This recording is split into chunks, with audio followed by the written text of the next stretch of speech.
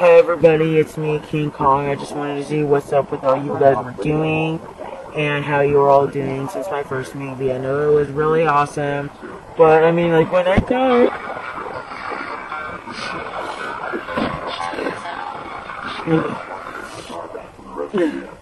Okay, anyways, yeah, it was like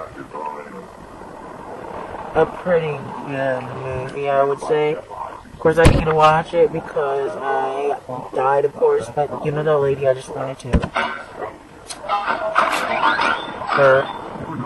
And so, when they shot me, it made me so angry. The directors, you know, made me want to puke. So I'm doing all that here. And you know what they did though? They like really made me sweat. I was worried. I was scared.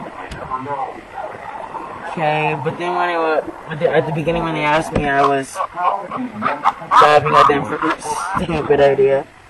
But anyways, bye.